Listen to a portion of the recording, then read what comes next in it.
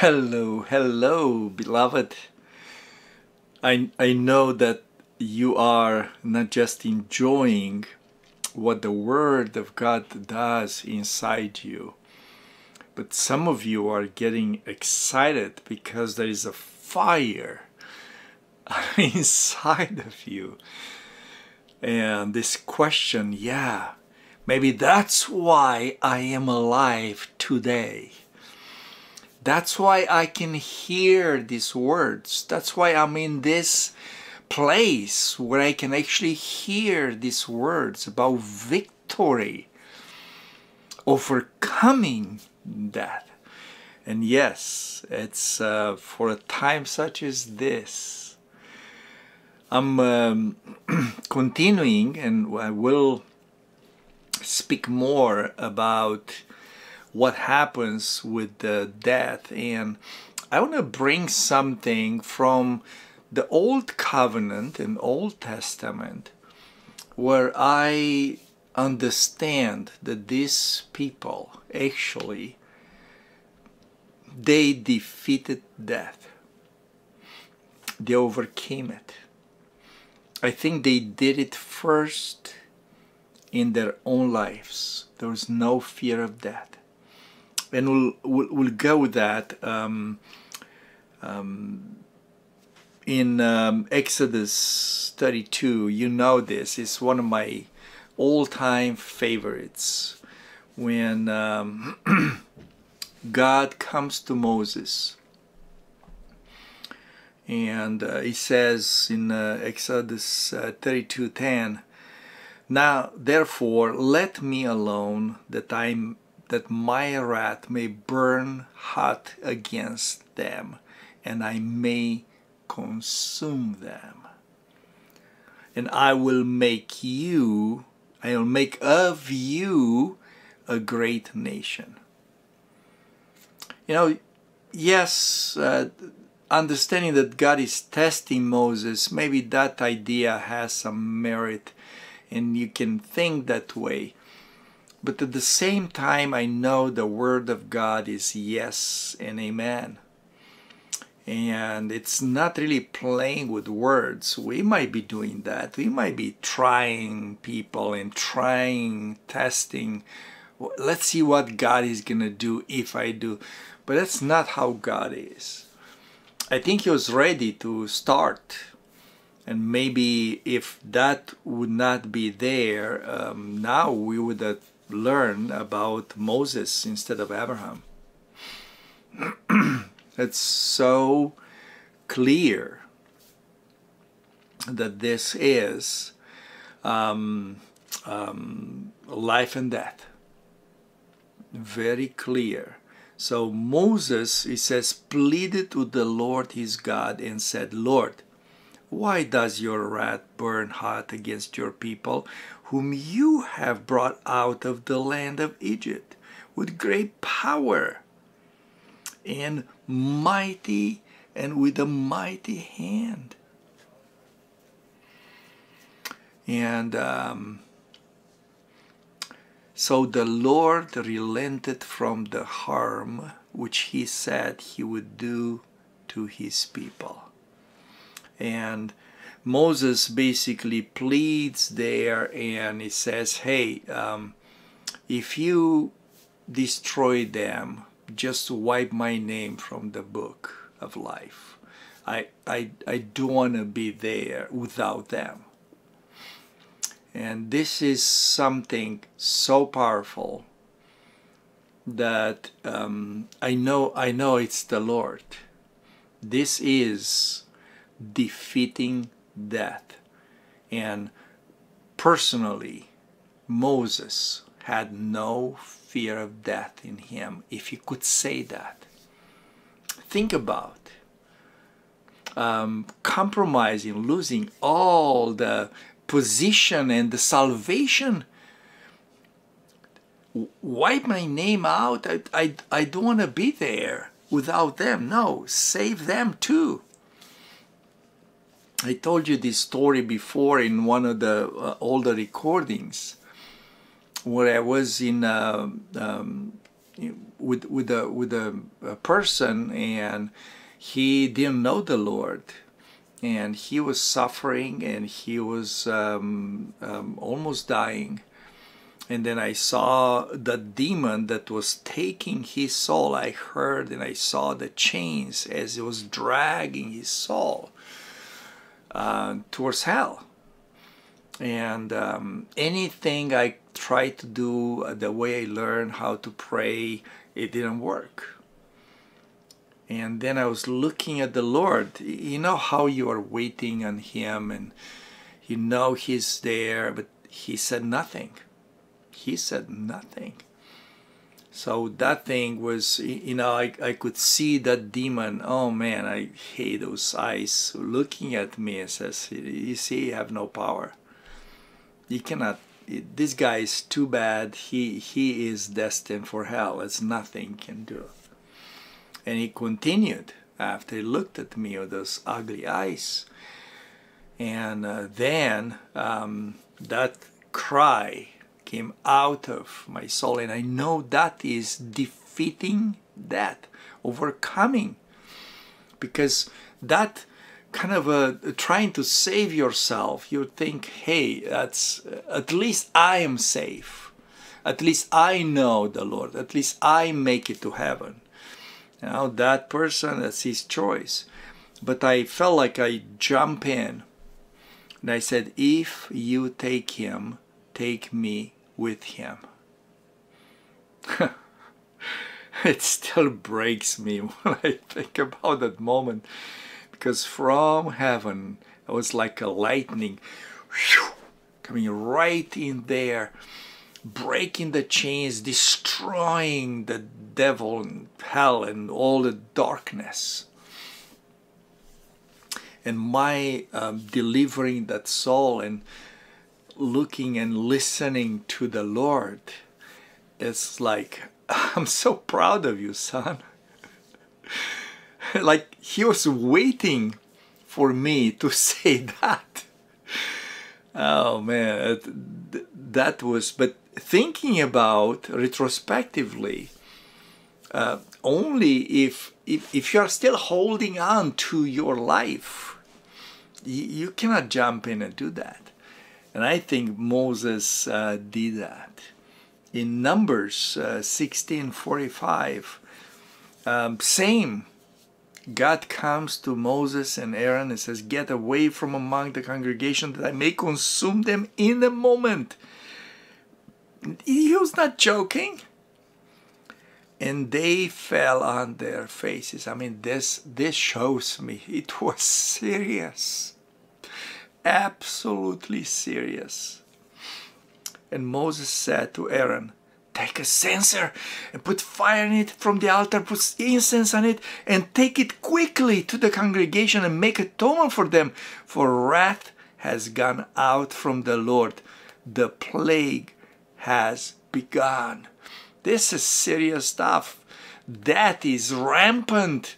It's not going to spare anyone unless there is an intercessor unless there is an intercessor first chronicle 21 16 again that's this time david David lifted his eyes and saw the angel of the Lord standing between earth and heaven, having his hand a drawn sword stretched out over Jerusalem. So David and the elders, clothed in sackcloth, fell on their faces.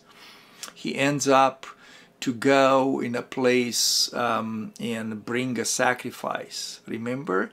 That place of sacrifice on that mountain became the place where the temple was going to be um, built. Interesting. The temple was built in a place of intercession between life and death. That's the temple.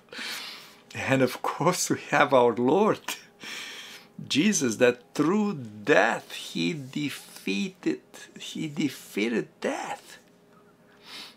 Romans 6 8 If we died in Christ, we believe that we shall also live with him, knowing that Christ, having been raised from the dead, dies no more. death no longer has dominion over him. For the death that he died, he died to sin once for all. But the life that he lives, he lives for God. and um, uh, Hebrews 2.14 Inasmuch then as the children have partaken of flesh and blood, he himself likewise shared in the same that through death he might destroy him who had the power of death, that is the devil, through death to destroy it. See, that's the sacrifice, that where he said, I, I give my life and then I take it back. But he didn't spare his only begotten son. He did not spare. So powerful. Exactly that intercession that saved, that destroyed that and saved those souls and bring them into life and release those through those who through fear of death were all their lifetime subject to bondage. See, fear of death, it's kind of a, um, the last fortress to fall.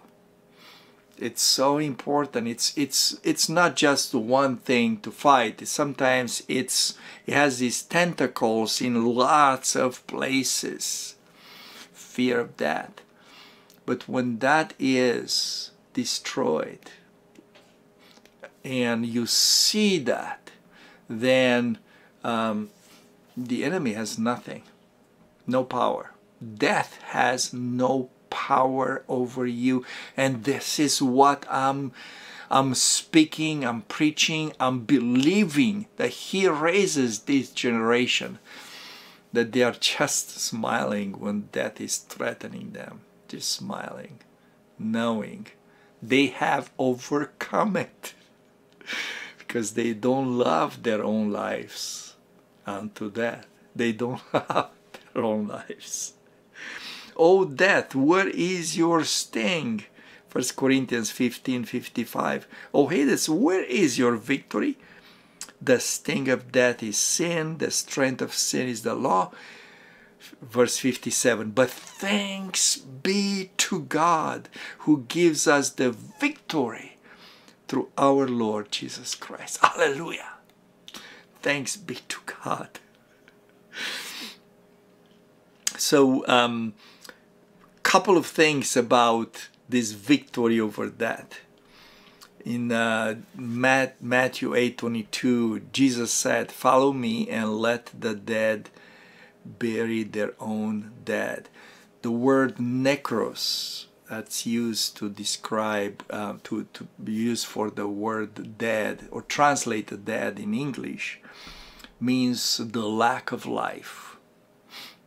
So it's not in existence it's just you are not in the life like a lack of necros of biological that means lack of biological life but in our case we're talking about people or situations the dead burying the dead that have no eternal life. They have no god's type of life.